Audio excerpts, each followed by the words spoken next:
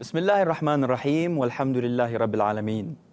يعد قطاع التربية والتعليم أحد أهم أدوات التنمية المجتمعية ووسائل صناعة نهضة البلد وتطوره، كونه يمثل مصنع العقول المفكرة والمبدعة التي تصنع التغيير ولا شك في أن هذا القطاع كبقية القطاعات الأخرى قد طاله العجز في التخطيط العلمي المدروس وشابته ممارسات سلبية أقضت إلى تدهوره وتصدر العديد من القضايا والتحديات في إعادة الإعمار والتطوير في العراق. وتبقى مشاكل التربية والتعليم عديدة ومتنوعة، بعضها موروث عن الحقبات السابقة والبعض الآخر بسبب أساليب التعليم القديمة التي لم تستطع الأجهزة التربوية والتعليمية الخروج منها حتى الآن. وهناك آراء تتراكم حول مجمل المسائل التربوية والتعليمية وتتجمع من حولها وجهات النظر المختلفة وقد يكون من المفيد وجود التباين في مداخل البحث عن الحاجة الملحة للتطوير والتحديث وكيفية تدارك وتجاوز نقاط الضعف وعناصر الخلل ومنهجية معالجة الإشكالات المحيطة والمتصدرة بهذا الشأن، لكن يبقى من المفيد جدا دراستها ضمن الواقع الاجتماعي والثقافي لبلدنا، وفي البين تتصدر أمور منها. غياب التخطيط الاستراتيجي للنظام التربوي والتعليمي والتخبط بتغيرات سريعة وعشوائية مرتجلة. أيضا قله أعداد المدارس مما أنتج ما يسمى بالدوام الثنائي. تدني الدعم الحكومي، غياب المكتبات والمختبرات العلمية والقاعات والمساحات اللا صفيه في معظم المدارس اكتظاظ القاعات الدراسية بأعداد كبيرة من الطلاب والتلاميذ تفوق الطاقة الاستيعابية لها من حيث العدد النموذجي لكل قاعة. أيضا تقليص عدد الساعات الدراسية بسبب ازدواجية المدارس مما أدى إلى تدني المستوى التربوي والعلمي والتعليمي للطلبة والتلاميذ. سوء الأوضاع الاقتصادية للمعلمين والمعلمات. تفشي البيروقراطية في معظم الإدارات المدرسية التي تخلت عن دورها القيادي التربوي والتعليمي. الضعف النسبي في الإشراف التربوي بتوجيه المعلمين وتدريبهم نسبيا طبعا. ضعف الحوار والاتصال ما بين المدارس إدارة وهيئة تعليم والآباء والأمهات مما أدى إلى تجاهل مشاكل الطلبة والتلاميذ وإهمال معاناتهم. أيضا تعطيل الدراسة لفترات طويلة ولأسباب عديدة ومختلفة. استخدام الوسائل والأساليب القديمة في عمليات قياس وتقييم الطلبة ومدى استيعابهم للمواد الدراسية المختلفة. هذا وغيره على طاولة نقاش الليلة وعنوان الحلقة. العام الدراسي الجديد تحديات ومساعي. برفقة الأستاذ مردان الديري مدير عام تربية النجف الأشرف عبر سكايب من النجف الأشرف وعبر سكايب. أيضا من بغداد الأستاذ عباس السوداني نقيب المعلمين العراقيين. قبل الخوض بالنقاش نشاهد التقرير معا. رافقونا.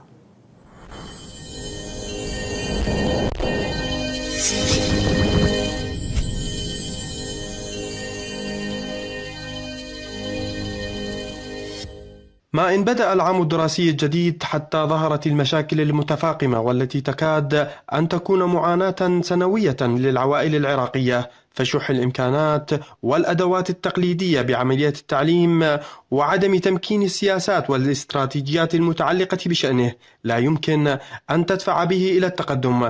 مما يجعله منذ سنوات عديدة أسير مشاكل اكتظاظ الصفوف وقلتها ونقص المعلمين فضلا عن عدم تجهيز الكتب المدرسية. كتب ماكو. عندي ابني بالسادس إعدادي لازم هسه أنا أشتري له كتب. رحت للمدرسة يقولوا لي ما عندنا غير بس فيزياء زين. هم يقولون المناهج تغيرت. اللغة مال التطبيقي والأحياء اللغة لازم كتب جديدة.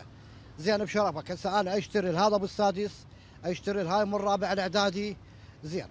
أنتم مو تقولون التعليم مجاني. هسه أنت لازم تشتري قرطاسية ولازم تشتري هذا أنا رجال معوق. زين. الله بدالك هسه أنا ما أقدر. يمكن هسه فكرت واحد من عندهم أخليه يداوم وواحد ابطله المشاكل لا تنتهي عند نقص المناهج الدراسية وتطوير التعليم.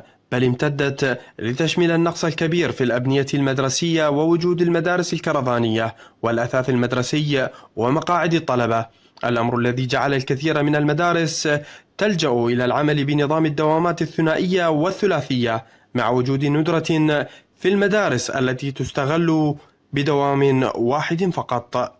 حاجة كربلاء الفعلية اليوم تقريبا 300 بناية مدرسية يجب أن تبنى وتضاف إلى الخدمة لفك الازدواج الثنائي والثلاثي.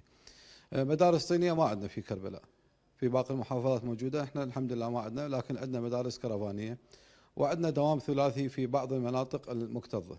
المدارس المنجزة في نهاية العام الماضي 22 وهذا العام لحد الآن 20 مدرسة جديدة تم افتتاحها.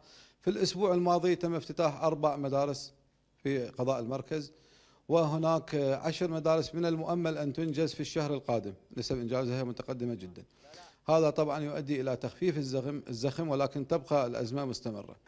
غياب التخطيط والاستراتيجية الواضحة في وضع الحلول لملف التعليم الشائك وعدم الجدية من قبل الحكومات المتعاقبة لإيجاد مخرج لهذه الأزمة المتكررة الأمر الذي يجعل من بدء العام الدراسي الجديد مشكلة مادية أخرى تضاف على كاهل العوائل العراقية. لبرنامج نقطة ضوء علي الخالدي كربلاء المقدسة.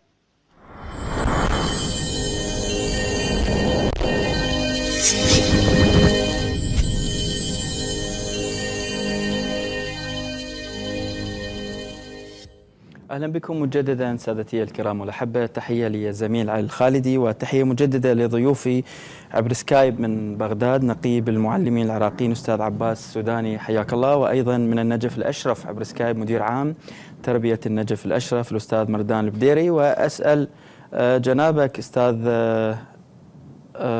مردان إن شاء الله يجهزون الاحبه الاتصال ويا الأساتذة. من بغداد نقيب المعلمين المقر العام الأستاذ عباس السوداني نتابع معه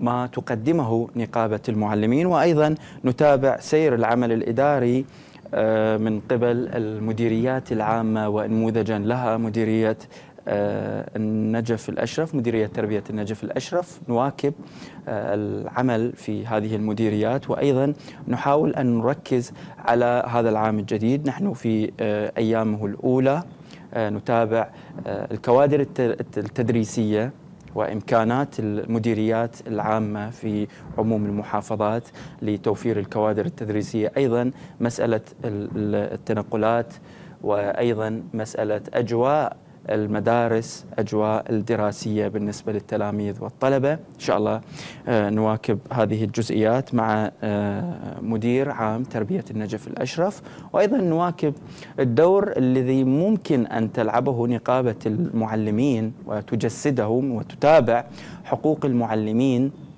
كمقر عام. وأيضا الفروع في عموم المحافظات الدور الذي يقع على عاتق نقابة المعلمين كبير جدا على مستوى حقوق الكوادر التربوية التعليمية ومواكبتها وأيضا يمكن في أوقات مختلفة كان هنالك الكثير من الحراك التظاهري لمجموعة من الكوادر التربوية كان في فترات معينة النقابة جزء من هذا الحراك وفي فترات أخرى بعيدة. نواكب هذه الجزئيات وأيضا لابد من أن يكون للنقابة دور كبير ومهم ولاعب أساسي في مواكبة مسيرة المسيرة التعليمية لا سيما ونحن في أيامها الأولى. لابد من أن تأخذ النقابة دورها المراقب والمتابع لسير العملية التربوية في عموم المحافظات وأيضا النقابة كمقر عام كمواكب باعتبارها آه، متابعة وأيضا راعية لحقوق آه، المؤسسة التعليمية وأيضا كوادر المؤسسة التعليمية وأيضا بمثابة بصورة أو أخرى تعتبر رقابة ومتابعة لسير العملية التربوية في عموم البلد وهذا مهم.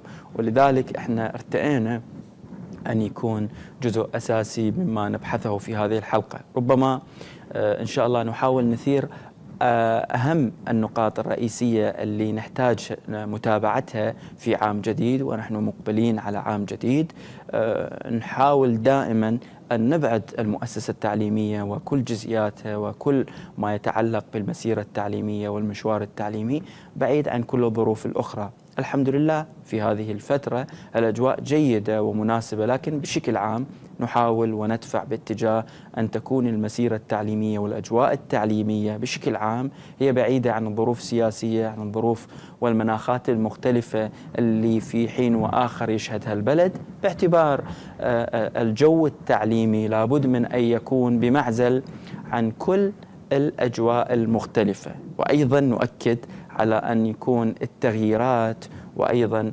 المفاصل الإدارية أيضا تكون بعيدة عن الأجواء السياسية والأجواء الأخرى اللي آه، إذا تدخل في محترك معين راح تأثر عليه بشكل كبير. فكيف ونحن نتحدث عن التربية والمسيرة التعليمية وهذا الجانب المهم اللي هو بكل تفاصيله هو حساس ومهم ويحتاج أن يكون بمعزل عن كل الظروف المختلفة والأجواء المختلفة. إن شاء الله آه، ما أعرف الزملاء أمنونا الاتصال ويا الأحبة آه، إن شاء الله لحظات يشيرون الزملاء ويأمنون الاتصال. عبر سكايب مثل ما أشرنا من بغداد راح نكون ويا الأستاذ عباس السوداني نقيب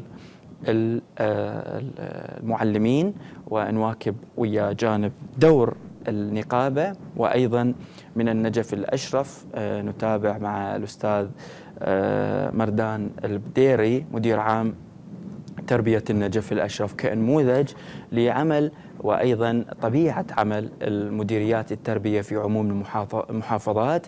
إحنا آه، نعرف أنه هنالك الكثير من الصلاحيات حيز الصلاحيات لدى المديريات العامة في عموم المحافظات.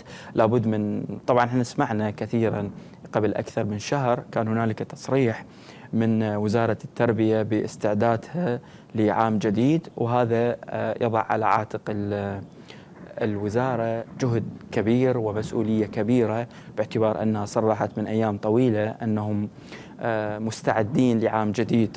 نريد نبحث مسألة أنه التأخير بالكتب المنهجية كثير من المدارس وبعموم المحافظات ما وصل المنهج بشكل كامل. أيضا نبحث مسألة الدوامات المتكررة أكثر من دوام في مدرسة واحدة وهذا يأثر على آه، طبيعة الوقت باعتبار الطالب إذا يداوم صباحا يختلف عن مساء وأيضا راح يتسبب بتقليص ساعات الدوام باعتبار أكو دوام آخر وراه فراح تضطر آه، الهيئة الإدارية في هذه المدرسة وتلك أن تقلل من ساعات أو تأخذ بنظر الاعتبار أن هنالك دوام آخر. وهذه الجزئيات المهمة واللي تأثر تأثير مباشر ودقيق. على آه، سير العملية التربوية إن شاء الله نبحثها. ما أعرف يا زملاء آه، منو جاهز ويانا من الاتصالات؟ نعم. خلينا ناخذ الأستاذ آه، مردان. طبعا بعد التحية لجنابك مدير عام تربية النجف الأشرف أستاذ آه، مردان البديري أحييك وأرحب بك عبر سكايب من النجف. وأيضا اوجد الترحيب بحضرتك نقيب المعلمين العراقيين الأستاذ عباس السوداني. تحية مجددة لجنابك.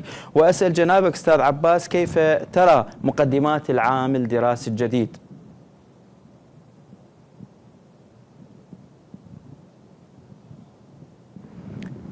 أستاذ عباس تسمعني؟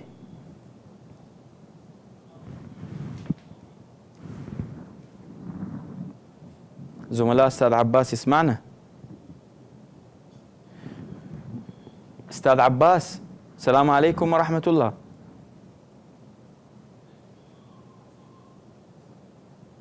شباب حاولوا لنا صوت أستاذ عباس ما دا اسمعه أستاذ عباس تسمعنا جيدا؟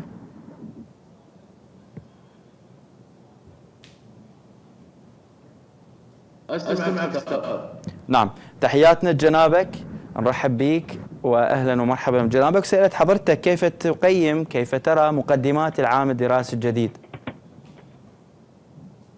طبعا بدايه احييك واحيي ضيفك الكريم الأخ العزيز الأستاذ وجميع مشاهدي قناتكم والغراء آه، واقعا آه، بداية العام الدراسي الجديد كنا يعني يتمنى الشعب العراقي أن يكون عام دراسي حافل بالنجاح والعطاء.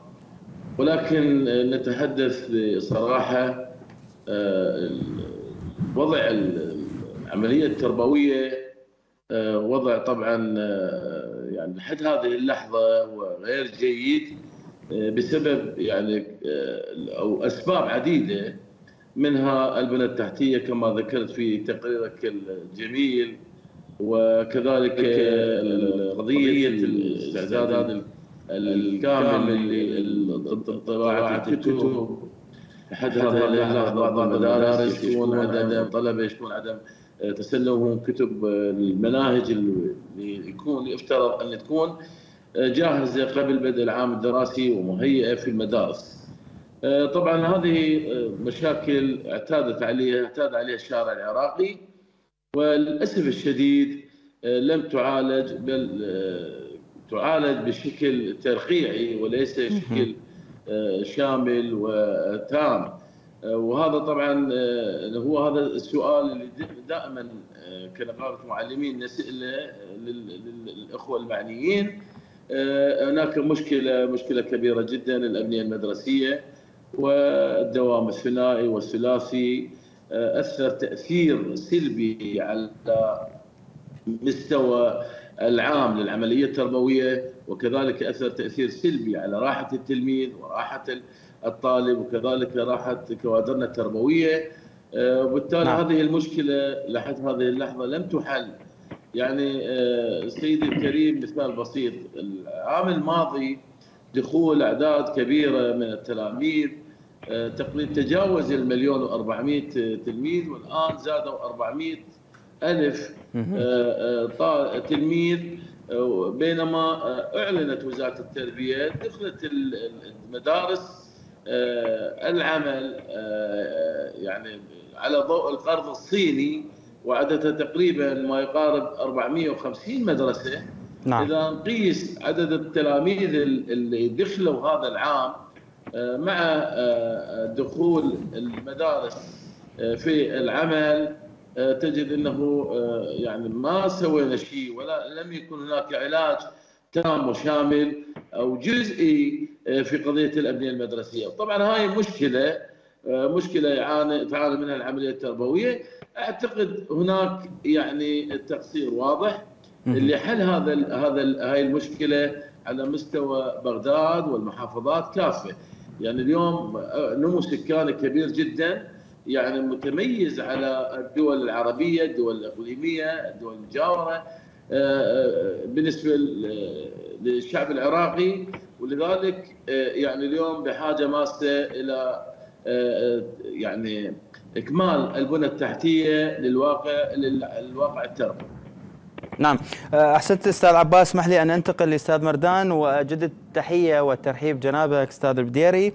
ويعني أضع أمامك الملاحظات اللي سجلها نقابة المعلمين. تحدث أستاذ عباس عن مجموعة من المشكلات جوهرية. تحدث عن مشكلة المنهج تحدث عن مشكلة الدوام المزدوج ثنائي أو ثلاثي تحدث عن مجموعة من المشكلات. أسأل جنابك في ظل هذه اولا تعليقك. حول ما تفضل به الأستاذ السوداني وأسأل جنابك آه، عن يعني مقدمات العام الدراسي الجديد كيف تسير العملية التربوية وهي في أيامها الأولى. نعم حياك الله أستاذ مصطفى. تحياتي آه، لكم ولكادر آه، قناتكم ومشاهديكم الكرام وتحياتي لضيفكم الأخ العزيز نقيب المعلمين الأخ الأستاذ عباس السوداني.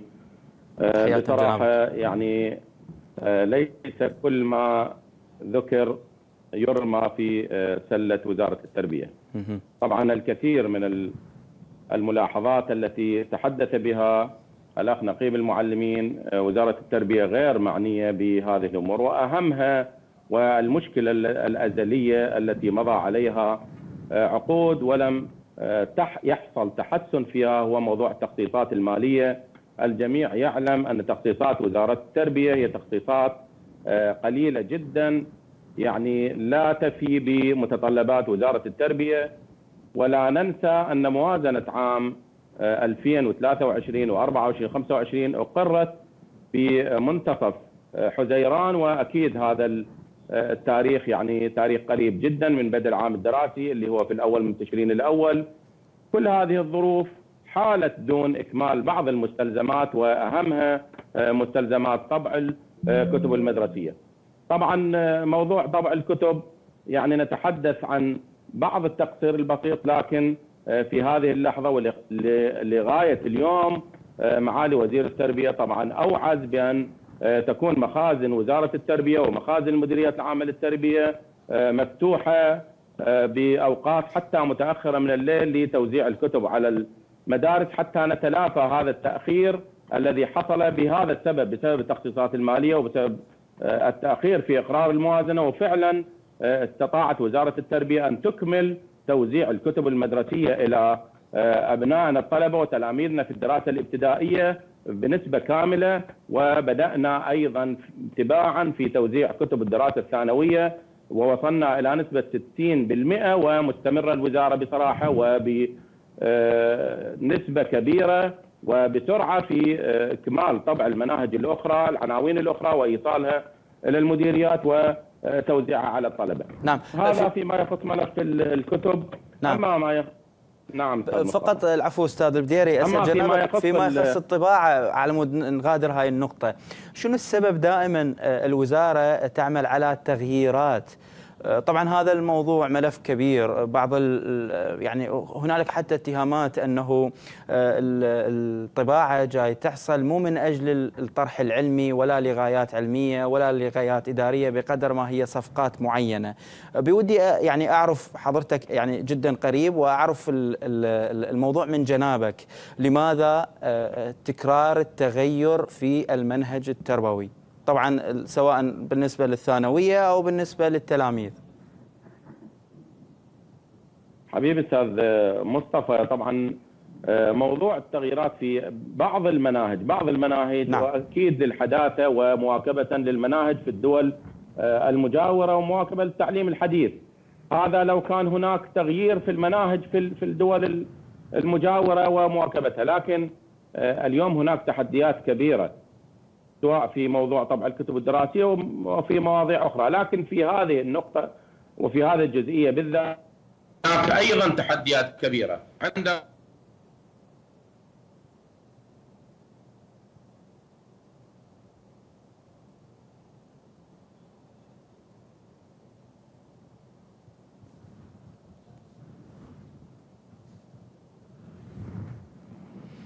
نعم. ليست في هذا العام كانت في كتاب من عام 2016 أثير عليها جدل كبير وأثيرت إعلاميا بشكل كبير اضطرت وزارة التربية إلى تغيير هذا المنهج. هناك تحديات كبيرة. حقيقة وحقيقة الأمر لا الهدف منها أنا أفهم أن يكون هناك هدف مادي من هذه التغييرات. أبدا بالذات في الحكومة الحالية اهتمام دولة رئيس الوزراء الذي أول رئيس وزراء يزور وزارة التربية قبل بدء العام الدراسي. واهتمام كبير ومطلع على كل الجزئيات التي تحصل في وزارة التربية. ويلتقي بالمدراء العامين ويلتقي بمعالي وزير التربية. ولاحظنا أن هناك اهتمام كبير من معالي وزير التربية.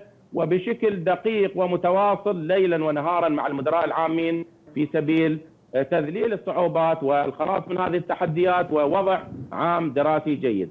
هذه حقيقة لا تنكر وأكيد أخي الأستاذ عباس سوداني يعلم من خلال تواصله مع المدراء العامين أن هناك جهود كبيرة بصراحة أحيانا نتحدث مع معالي وزير التربية حتى تحدثنا مع دولة رئيس الوزراء بأن قوسيا إحنا نركض ونلحق على إجابات الكتب وإجابات المتابعة لدولة الرئيس و لمعالي وزير التربية، اليوم هناك اهتمام كبير، نعم أنا يعني أختلف بالرأي مع أخي السوداني أن هذا العام إن شاء الله سيكون عاما متميزا، نعم تحديات لكن استطعنا أن نتلافى هذه التحديات وابتدأنا بداية جديدة. كان هناك إصرار من وزارة التربية أن يبدأ العام الدراسي في واحد تشرين الأول. نعم. يعني نعم وزارة التربية تعلم أن هناك مشكلة في توزيع الكتب وطبعها. كان ممكن أن تؤخر الدوام إلى الأول من تشرين الثاني مثلا.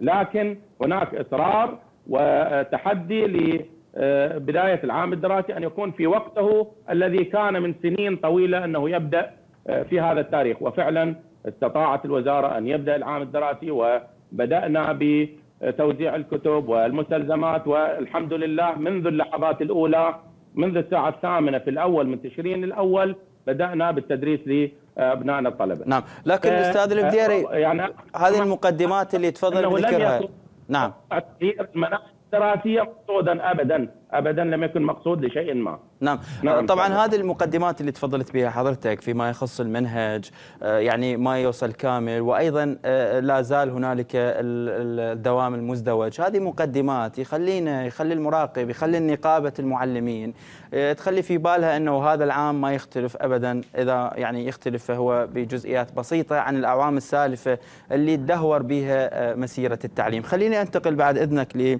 للاستاذ عباس وأسأل جنابك يعني تفضل الاستاذ البديري أنه مو كل ما تفضلت به مسؤولية الوزارة.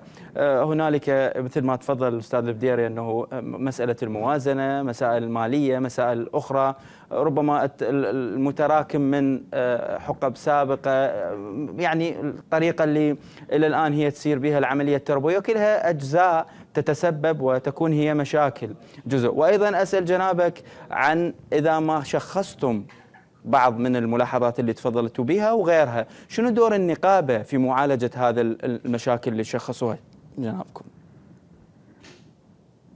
أه تعقيبا على أخي العزيز الأستاذ أه يعني ما أعتقد إنه هي وزارة التربية تتحمل المسؤولية بقدر ما هناك.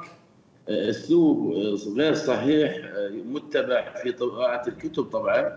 لأنه هي مشكلة هاي طبعا راح تبقى مشكلة. ولم تعالج إذا لم يعتبروا الحكومة لابد أن تعتبر السنة الدراسية غير السنة سنة الموازنة. يعني اليوم آه، عادة آه، مر السنوات والشعب العراقي يعلم جيدا وحتى الأستاذ مردان يعني يعلم أنه قضية الكتب آه، طباعة الكتب تأتي متأخرة وعدم إقرار الموازنة سبب يعني كبير جدا ب نعم. نعم. أه انقطع الاتصال ويا الاستاذ عباس. إن شاء الله عودوا الاتصال ويا الأستاذ عباس وأرجع لجنابك أستاذ أه البديري أه يعني فعلا إنه المشكلات متراكمة والأسباب كبيرة كثيرة. تفضلت حضرتك قضية الموازنة وتأخر إذا ما انقرت فانقرت متأخرة. طبعا ربما بالسنتين الجاية ما راح يكون عندنا هاي المشكلة باعتبار هاي الموازنة ثلاثية. لكن مع هذا أستاذ يمكن تتفق ويانا أنه كل الناس اللي عاملين هم أصبحت عندهم تجربة طويلة مع كل هذه المشكلات. عايشتوها حضرتك؟ وأغلب مدراء العامين في المحافظات كذلك العاملين في مفاصل الوزارة الحساسة والمكانات الحساسة. تعايشتوا ويا هاي المشكلات. ليش نفس المشكلات جاي تنعاد ويانا في كل سنة؟ تاخير بالمنهج لا زلنا ما قدرنا نحل مسألة الدوام يعني أكثر من دوام في مدرسة واحدة وهذه المشكلات الجوهرية. نعم أستاذ مصطفى. طبعا إذا أذكر لك بعض الأرقام ومن خلالها نتواصل بالحديث. نعم تفضل. يعني عدد الطلاب اللي بالعراق حاليا أستاذ مصطفى يعني 10 ملايين و458 ألف طالب. يعني أكثر من 10 ملايين طالب آه، بالعراق. وهذا العدد ليس بالقليل. فعلا. وهؤلاء الطلبة يرتادون في 26 آه، ألف و147 مدرسة بناية مدرسية. طبعا العجز اللي بالمدارس العجز اللي في البنايات هذه أرقام بصراحة هي دقيقة من وزارة التربية، العجز في البنايات 8754 بناية مدرسية.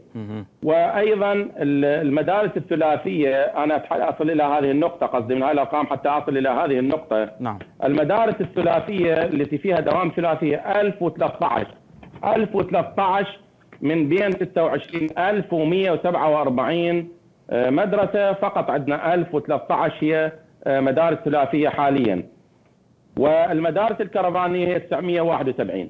نعم. طبعا ما يخص المدارس الثلاثية أستاذ مصطفى فقط للتنويه على أنه اليوم من أعطيك تجربة في النجف أنه المدارس الثلاثية حصلت فقط عندما خصصت لوزارة التربية تخصيصات مالية وللمحافظات أيضا آه، تخصيصات مالية لترميم المدارس. ووصلت هذه التخصيصات بصراحة متأخرة نظرا لتأخير إقرار الموازنة. وفعلا مثلما آه، أشرت آه، جنابك إنه هذه المشكلات لن تحصل بالأعوام القادمة باعتبار أن الموازنة مقرره ل 24 و 25 فتخصيصات 23 وصلت متأخرة اضطررنا إلى ترميم وصيانة المدارس واضطررنا إلى أن نخرج طلابنا إلى مواقع بديلة اضطررنا إلى الدوام الثلاثي. وإلا ما كان عندنا دوام ثلاثي بالنجف وحتى أغلب محافظاتنا عندما يكون دوام ثلاثي 1013 مدرسة فقط من أصل 26000 يعني قليل جدا الدوام الثلاثي بمدارسنا. المدارس الكرفانية طبعا أيضا آه، مضطرين لها لأنه آه، يعلم جنابك أنه اليوم بالنجف وبعض محافظاتنا وكل مفاصل وزارة التربية اليوم هناك آه، مكانات عشوائية وسكن عشوائي في هذه المحافظات ومضطرين مع هذا السكن العشوائي أن تكون هناك مدارس كرفانية لعدم حصولنا على أراضي آه، حسب الضوابط أن تبنى فيها بنايات مدرسية وأيضا التكاثر في السكان في بعض المناطق سواء بالنجف أو في آه، مكانات أخرى. لكن لو تحدثت عن ملف الأبنية المدرسية هذا العام هو أفضل بكثير من الأعوام السابقة، اليوم آه، معالي وزير التربية والحكومة الحالية اهتمت كثيرا في ملف الأبنية المدرسية ونتج عن ذلك العمل في مشروع الوزارة رقم واحد.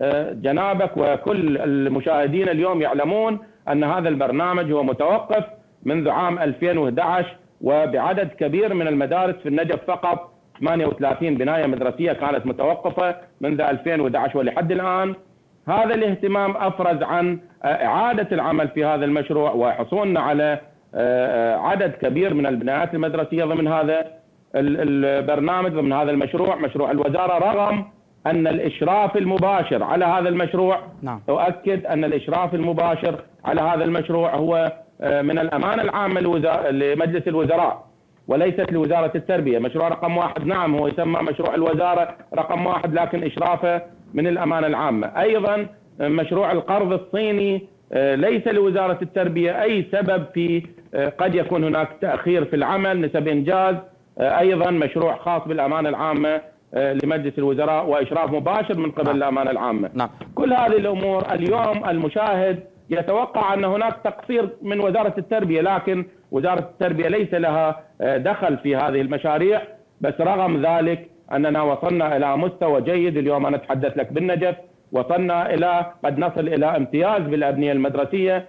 عندما وصلنا إلى 800 بناية مدرسية بواقع 1000 و50 آه، مدرسة حكومية. يعني عدد البنايات قياسا للمدارس جيد جدا. قد نصل إلى أن نكون هناك بنايات مفردة وليست مزدوجة. ناهيك عن الدوام الثلاثي. لا يوجد عدا موضوع الصيانة والمدارس الكرفانية في دور الحل. دائما يؤكد نعم. معالي الوزير أنه لابد من إيجاد حلول للمدارس الكرفانية وإن شاء الله ستحل قريبا ويكون ابنائنا الطلبة في بنايات مدرسية. نعم. هذه تحديات نعم. أستاذ مصطفى تحديات كبيرة سببها الرئيسي فعلا. نعم. لا أزال أقول سببها الرئيسي هو قلة التخصيصات المالية. نعم، لكن أستاذ مردان يعني اسمح لنا أن نتحدث بجزئيات إحنا ما ننظر لأنه أكثر من 10 مليون طالب يتقسمون على أكثر من 26 مدرسة مثل ما تفضلت وإنما ننظر لل 1003 1000 إيش قد 113 إيش قد المدارس اللي مزدوجة؟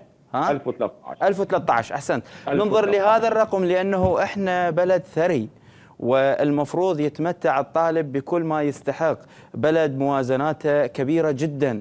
لذلك أسأل جنابك حتى نغادر هذه الجزئية فيما يخص الدوامات الم... يعني أكثر من دوام في مدرسة واحدة وهذا العدد الكبير في قاعات المدرسة. بوجهة نظر جنابك للمشروع الصيني وأيضا للجزئيات اللي تفضلت بذكرها متى ستستطيع محافظاتنا مغادرة الدوامات المتكررة في مدرسة واحدة؟ وأيضا هاي المشكلات في العدد الكبير في مدارس ربما يتجاوز عدد الطلاب فيها أو التلاميذ العدد المقر بكثير نعم أستاذ مصطفى طبعا من المعلومات الحديثة جدا في هذا الموضوع أن هناك صندوق سمي بالصندوق العراقي للتنمية. نعم. في مكتب دولة رئيس الوزراء واهتمام مباشر من دولة رئيس الوزراء في هذا الصندوق وكان هناك إيعاز إلى وزارة التربية والمديريات العامة في تهيئة قطع الأراضي لبناء مدارس ضمن هذا الصندوق العراقي للتنمية. وأعتقد أن المبالغ قد وصلت واكتملت في هذا الصندوق وفقط في انتظار تحديد الأراضي وأيضا القطاع الخاص حسب ما علمنا من دولة الرئيس أن القطاع الخاص جاهز والمبالغ أيضا جاهزة لبناء المدارس وإن شاء الله قريبا قد ممكن جدا السقف اللي نقدر نخل... نخ... يعني نقدر نوفر المدارس الكافية من وجهة نظر حضرتك؟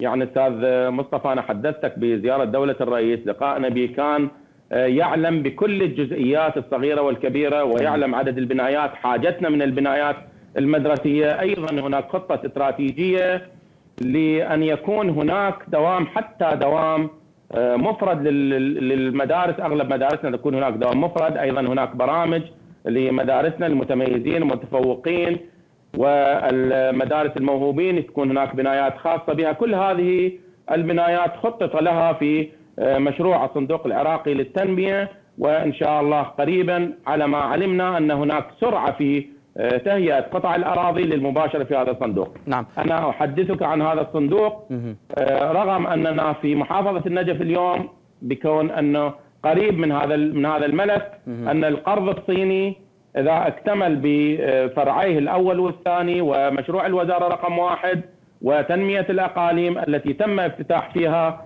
32 بناية مدرسية والقرض الصيني 40 والمرحلة الثانية 125 بناية مدرسية سنصل إلى امتياز وليس جيد جدا في ملف الأبنية المدرسية إن شاء الله. جيد جدا. وهذا يبشرنا بخير طبعا. أه تفضلت حضرتك فيما يخص المنهج أستاذ البديري. أه بالنسبة للثانوية قلت 60% إيش وقت يكمل المنهج للطلاب؟ إحنا هسه يمكن أيام هواية صار لهم يداومون. نعم أستاذ مصطفى طبعا إحنا دائما يعني ليس دفاع وليس دفاع وإنما فقط تعريف عن الحقيقة حقيقة نعم. الأمر. حقيقة الأمر مبالغ. يعني حتى بالأعوام الماضية كان معالي وزير التربية السابق عندما طلب من الحكومة 200 مليار لطبع المبالغ لطبع الكتب حصل على 60 مليار فقط. وأيضا كانت هناك مشكلة. فالسبب الرئيسي هو قلة التخصيصات المالية. يعني ممكن يتأخر أكثر من شهر؟ التربية أستاذ البديري لا لا وزارة التربية جادة إن شاء الله في إكمال مناهجنا في أقرب وقت. يعني حتى كان وعد هناك من المديرية العامة للشؤون الإدارية المشرفة على المستلزمات التربوية وطبع الكتب أن يكون 15 10 هو اكتمال طبع المناهج بكل عناوينها. إحنا لغاية اليوم طبعا الشاحنات كل المحافظات علمنا في مخازن وزارة التربية كل المديريات مستمرة يوميا في الحصول على الكتب المطبوعة حديثا وإيصالها إلى المخازن وتوزيعها مباشر. نتوقع إن شاء الله في حد أعلى الأسبوع القادم يكتمل أيضا المدارس الثانوية بنسبة 100% إن شاء الله مثل ما اكتملت الدراسة الابتدائية. نعم، طبعا تدري أستاذ البديري يعني هذا تفضلت جزئيات مهمة جدا. تفضلت أنه السيد رئيس مجلس الوزراء متابع للموضوع والقضية ليست قضية وزارة بقدر ما هو مجلس الوزراء يعني معني ومتابع مواكب للقضية، هنالك زيارات ميدانية للسيد رئيس مجلس الوزراء، كله جيد ولكن من نلتفت ونشوف أنه التقصير إلى اليوم ما تم المنهج بشكل كامل وإحنا ببلد بلد مثل العراق ابدا ما يشكو من مشكلة مالية ولا يشكو من مشكلة اقتصادية فهذا يعني مشكلة حقيقة وما لها جواب. لذلك يعني نقف عند هذه الجزئية. أسأل جنابك آه، أستاذ آه، البديري شنو عندكم مشكلة ويا المتعينين جدة؟ دمرتوهم فريتوهم بالأقضية والنواحي مجرد ما اجى قرار تعيينهم كلهم انقلوا من مدارسهم وكلهم تذمروا بعموم المحافظات سواء بالنجف بكربلاء بعموم المحافظات تم نقلهم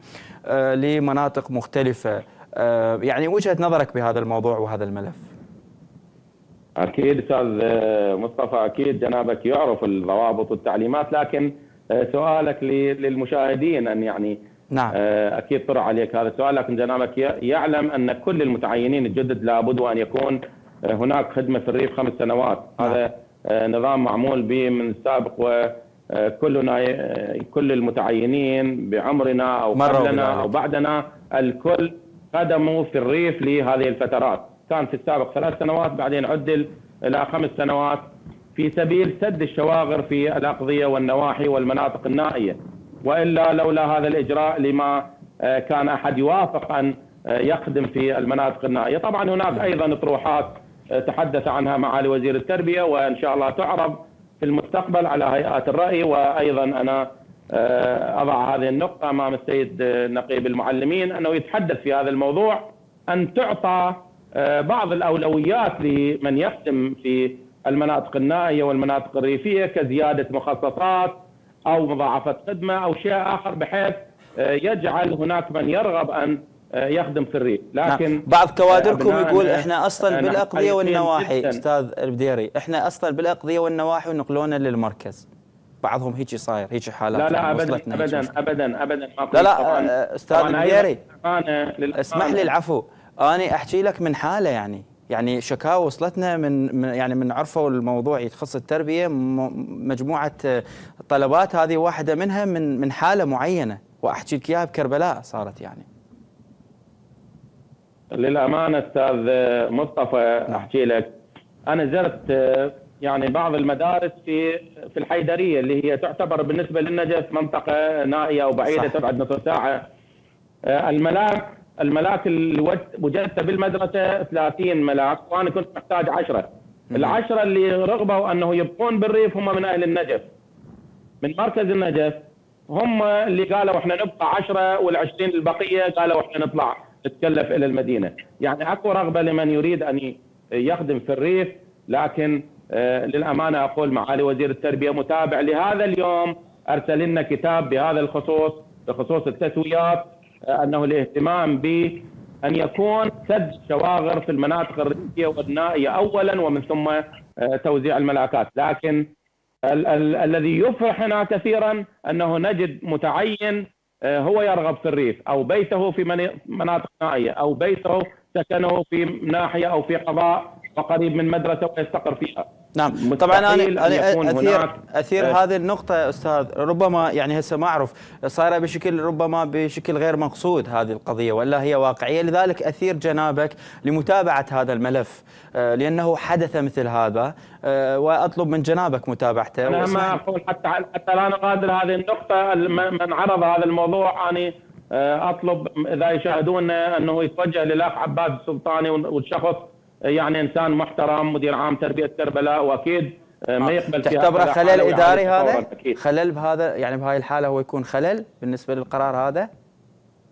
لا اكيدا اكيدا إجراء إن كان موجود فهو إجراء خاطئ ما معقول شخص في الريف وينقل نعم. المدينة مستحيل. نعم، اذا هي دعوة لمن قدم لنا شكوى أن يتجه بها لمديرية التربية في كربلاء. وأنتقل لأستاذ عباس السوداني. واليوم ما أدري ظلمك النت إحنا ما أدري، لك وقت أن تعلق واسال جنابك أنه دور النقابة إذا ما شخصت مشكلات معينة. تفضلت حضرتك من البداية قلت إحنا مشخصين لهذه المشكلات الكبيرة، الأستاذ البديري يتحدث عن أنه مو كل اللي تشوفونه من مشاكل هي مشكلة وزارة أو مديريات عامة مديريات عامة. بقدر هي مجموعة مشكلات. أيضا أسأل جنابك أنه في ظل هذا الواقع دائما تتكرر ذات المشكلات. كنقابة معلمين كيف تشخصون حلا لهذه المشكلات حتى نغادر مسألة يبدي الدوام ورا شهر أكثر أقل والمنهج ما كامل؟ أيضا الازدواج في الدوام. تفضل حضرتك. طبيعي يعني لا نتكلم وحتى نظلم وزارة التربية لأن وزارة التربية أكيد إذا كان السيد معالي وزير التربية أو الساده الأخوة مدراء العامين أو الساده الوكلاء أكيد يريدون ينجحون بعملهم ويقدمون عطاء إلى الشعب العراقي خاصة ابناء العراق. ولكن ال ال ال يعني المشكلة لم تعالج يعني إحنا نقول كل سنة تتأخر طباعة الكتب، طباعة الكتب أنا ذكرت وانقطع الصراحه الاتصال الموازنة دائما بتأخر بإقرارها من قبل للمشاكل السياسية الموجودة في البلد.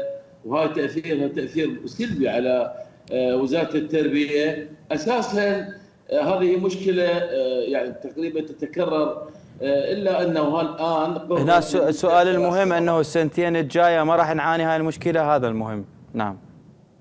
أكيد ما تعاني ما تعاني وزارة التربية من هذه المشكلة لأنه يكون تحضير قبل الوقت يكون هناك وقت إعداد طباعة الكتب وهذا طبعا أكيد يعني يراد له وقت طباعة الكتب تجهيز الكتب ومن ثم نقلها إلى المخازن وزارة التربية وثم إلى المدارس. هذا كله وقت. أنا ذكر الأستاذ مردان وجنابك الكريم آه، موضوع مهم جدا في نعم. غاية الأهمية وأستاذ مردان طلب من عندنا انه اعلق على هذا الموضوع. تفضل. هو قضية المناطق النائية. طبعا أنا شخصيا قدمت مشروع آه، آه، هذا المشروع تحدثت فيه مع دولة رئيس الوزراء الأستاذ محمد الشيع السوداني بخصوص كيفية آه، جعل المناطق النائية والريفية والبعيدة عن المدن مناطق جاذبة وليس طاردة لأنه خلينا نتكلم بالواقع. أستاذ مردان أعتقد يأيدنا بهذا الأمر. المدراء العامين هناك ضغوطات عليهم على الوزير على مع الوزير على الوكلاء على جميع آه، شخص آه، آه، صاحب قرار في وزارة التربية بخصوص التسويات اللي تعملها المديريات العامة في بداية كل عام. وهناك ضغوطات من قبل المسؤولين حتى إنه أحد الإخوة المحافظين وأعتقد هو محافظ نينوى نعم. شكى من هذه الحالة لأنه التسوية إذا نذكر عدد معين نقول 100 معلم أو 100 مدرس الضغوطات من المسؤولين يمكن يطبق على خمسة أو عشر أشخاص أو بالكثير 25 شخص والباقي آه، بسبب الضغوطات آه، على الأخوة مدراء العامين وحتى على وزارة التربية ولم آه، تتم هذه التسوية بشكل صحيح ومثل ما مخطط عليه من قبل الأخوة المشرفين الذي يعدون هذه التسويات. هذا واقع. إحنا اليوم كيف نغادر هاي المشكلة؟ وهي مشكلة طبعا يعني مشكلة عقيمة. نعم. آه، آه، فقدمت مشروع هو وهذا المشروع أمام دولة رئيس الوزراء وبالتالي أحال هذا المشروع إلى الأخوة مسؤول آه، لجنة التربية والتعليم في مجلس الوزراء. آه. وحدثت هناك اجتماعات جرت اجتماعات ما بين النقابة وبين هذه اللجنة. نعم. وتوصلنا إلى حل بخصوص هذا الموضوع هو إضافة آه، ستة أشهر للخدمه لغرض التقاعد والترفيع والعلاوة آه، اللي يعملون في الأطراف أو المناطق النائية والشرط يكون خدمتهم أكثر من خمس سنوات. للأسف الشديد رفع هذا التقرير ولحد هذه اللحظة من إيش وقت تم رفع التقرير؟ على دولة رئيس الوزراء نعم. أقول من إيش وقت من أي وقت قدمت التقرير حضرتك للمجلس الوزراء؟ إيش قد قصدي استغرق إلى الآن؟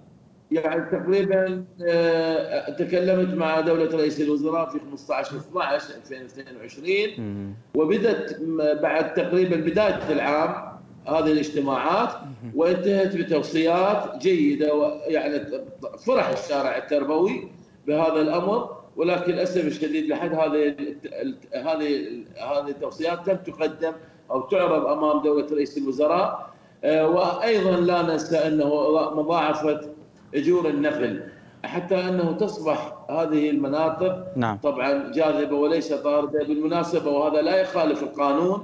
آه، هناك رأي قانون رأي قانون من وزارة التربية. آه، لا اعتراض على هكذا أمر. وبالتالي حقيقة استووا في الموضوع آه، يعني مع الأسف يعني. اليوم آه، نريد أن نعمل يعني نقدم فكر نقدم حلول لبعض المشاكل ولكن للأسف الشديد لم ترى. اللي. نعم. صاحب القرار لم لم يساعدنا أو بحل هذه المشكلة آه، يعني جميل جداً. طرحناها أستاذ عباس أنا بودي آخذ أيضا وجهة نظرك باعتبار إحنا نبحث عن آه، الجو ال- المناسب للمسيرة التعليمية وأيضا هيبة هذه المؤسسة. آه، المشكلات اللي عادة تحصل آه، أثناء الامتحانات الوزارية من أخبار عن تسرب أسئلة وعدم تسرب وطريقة التعامل مع الامتحان قطع الإنترنت لساعات طويلة وكذا هذه الجزئيات كيف تتابعوها كنقابة معلمين باعتباركم مراقبين وتحرصون على الجو التعليمي بشكل صحيح؟ أريد تعليقك بدقيقة أستاذ عباس؟ لا هي حدثت مشكلة العام الماضي بسبب الأسئلة وطبعا اتخذت الإجراء بحق من قاموا بهذا العمل. وبصراحة لا نظلم وزارة التربية، وزارة التربية هذا العام آه، يعني كانت مستعدة استعداد كبير جدا. ويعني حسب كل حسابات آه، واعتقد إنه أستاذ مردان يأيد بهذا الكلام. إذا كان هناك زيارات ميدانية متابعات ميدانية ليلا ونهارا كانت يعني كانت صحيح يعني واقعا نجاح الامتحانات لهذا العام نجح بشكل ملفت لأنه غادرنا قضية الكارثة اللي وقعت بها آه، وزارة التربية العام الماضي. وطبعا آه، أكيد هاي جهود تبدي وزير التربية اللجنه الدائمه للامتحانات الأخوة الوكلاء الأخوة المدراء العامين الكل كانت ال- ال- كوادرنا التربويه الكل كانت ساهمت في سبيل يعني آه، تصحيح ال- ال- الواقع اللي حدث آه، العام الماضي وأكيد نجحت وزارة التربية بهذا الأمر وهنينا وزارة التربية وكنا متابعين متابعة نعم. حثيثة مع الأخوة آه، في وزارة التربية ابتداء من الوزير نعم. إلى كوادرنا التربويه. نعم اسمح لي خلينا ننتقل للأستاذ البديري وأسأل جنابك سؤال الأخير طبعا هذا آه لماذا نشاهد عدم آه آه، وجود أبسط الأشياء بكثير من المدارس يعني بنكة بعض المدارس ما موجودة. آه صيدليه اللي تدري بعد هذه كلش ضرورية بأبسط مكان أيضا ما موجودة بعدد كبير من المدارس. هذه الجزئيات وأيضا أسأل جنابك ليش دائما تتميز المدارس الخاصة الأهلية عن المدارس الحكومية ب يعني بشسع يعني يعني بون كبير بين المؤسسة التعليمية الخاصة والحكومية؟ أستاذ البديري نعم أستاذ مصطفى. طبعا آه، لا أتحدث لك عن المدارس ليس كل المدارس الأهلية هي بالمستوى الذي تتحدث عنه. كثير من لا المدارس نسب الأهلية نسب بدنا نحكي هي بالعكس. ليست بالمستوى المطلوب. تمام. وأيضا إيه، بعض نعم، أنا أقول نعم، لك بعض المؤسسات التربوية الحكومية رائعة جدا أنا أقول لك وزايرهن. أقصد بشكل عام. رائعة جدا. وإن شاء الله ال- ال- السنة ال- هذا العام الملفت للنظر والمفرح جدا. هناك انتقال كثير من الطلبة من المدارس الأهلية للمدارس الحكومية. والله أنا أشعر آه، السنة مدارسنا الحكومية آه، يعني بشكل جيد. ما تحدثت عنه من نقص بسيط في آه، بعض الاثاث تتحدث عن مروحة تتحدث عن اثاث نعم هو تقصير موجود لكن التقصير سببه آه، التخصيصات المالية. اليوم بعد إقرار الموازنة طبعا هنا في النجف أعطينا سلف لمدراء المدارس وهذا حل أنا أعتبره حل جذري أنه مدير المدرسة يسلف آه، جزء بسيط معين بسلفة لسد هذه الاحتياجات، لكن النجاح الأكيد والحقيقي هو بإدارة المدرسة، دائما نقول. كل نجاح يحصل هو ليس لمدير التربية وليس لكادر التربية هو لمدير المدرسة، جنابك والأخ عباس يعلم أن هناك العديد من المدارس في ظل هذه الظروف نعم. هي مدارس جيدة نعم. والبعض منها غير جيدة، تحياتنا لكل من يعمل بجهد، من يعمل بإخلاص، من يعمل في. آه، رد الأمانة، رد الأمانة بالشكل الصحيح ويقول لله سبحانه وتعالى أن أنه أنا أبرأت الذمة نعم. من هذه الطلبة والطالبات الذين في عنقي هذا هو. النجاح الحقيقي لكل نعم. شخص في وزاره التربية. نعم هي الدعوة لجنابك وأنتم طبعا أكيد عاملين بها لكن حث جنابكم ومن خلال جنابك لكل المدراء العامين في عموم المحافظات وأيضا الأستاذ عباس سوداني كنقابة معلمين بزيارات الميدانية الدائمة لمدارسنا والاطلاع عليها لمعالجة هذه الأشياء بشكل ميدان ممتن جدا. الأستاذ مردان البديري مدير عام تربية النجف الأشرف ممتن جدا من حضرتك وما تفضلت. وأيضا نقيب المعلمين العراقيين الأستاذ عباس السوداني ممتن جدا من حضرتك. كل الامتنان لجنابكم. اعتذر عن عن وضع الإنترنت كان جدا سيء وأخذ من وقتنا تقريب قريب من ربع ساعة. ممتن لكم وأيضا لكم أيها الكرام سادة الأحبة ختاما مني ومن أسرة العمل. أجمل التحايا إلى الملتقى.